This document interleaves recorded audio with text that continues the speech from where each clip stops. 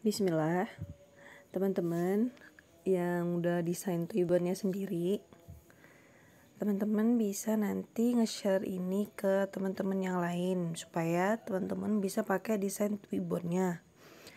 Caranya adalah nanti kalau seandainya ada yang mau pakai kasih tahu di bagian bingkainya ini yang ada orangnya itu dihapus gambar.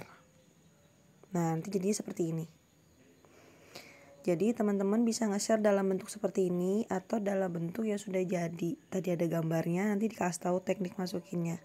Jadi orang yang mau pakai Twibbon ya, tinggal masukin gambar mereka ke sini dan dipajang di sosmed. Terus nge-share link templatenya gimana? Tinggal klik yang bagian atas. Terus klik yang bagikan tautan. Nah, terus teman-teman klik yang bagi berbagai ta, berbagi tautan dibatasi. Terus klik yang punya tautan.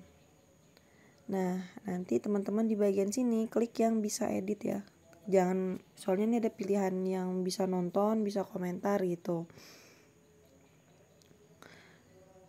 Nah nanti kalau sudah teman-teman tinggal klik salin tautan Nah, teman-teman bisa bagikan link ini ke sosmed teman-teman. Misalnya saya mau bagiin di Facebook gitu kan.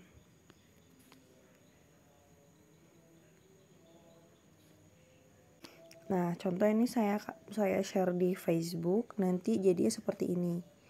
Nah, teman-teman yang mau make tinggal diklik aja nanti linknya.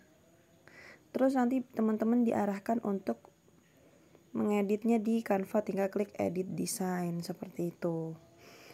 Oke teman-teman semoga bermanfaat. Assalamualaikum